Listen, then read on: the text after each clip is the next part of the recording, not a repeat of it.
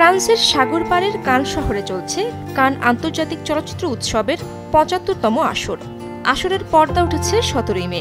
এরই মধ্যে জমে উঠেছে কান উৎসব। দুই বছর পূর্ণরূপে ফেরার কারণে এবার কান চলচ্চিত্র উৎসব নিয়ে আগ্রহের শেষ নেই।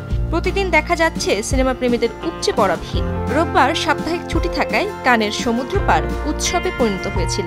ষষ্ঠ দিনে পালে দ্য ফিল্ম ভবনে সময় গড়ানোর সঙ্গে সঙ্গে বাড়তে থাকে এই ভিড়।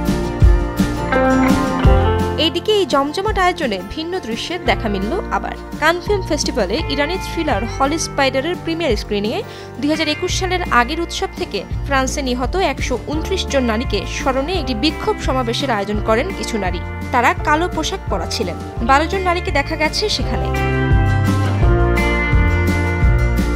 বিক্ষোভে কালো ধোঁয়াও সৃষ্টি করা হয়, যা গ্রেনেড হামলার প্রতীক।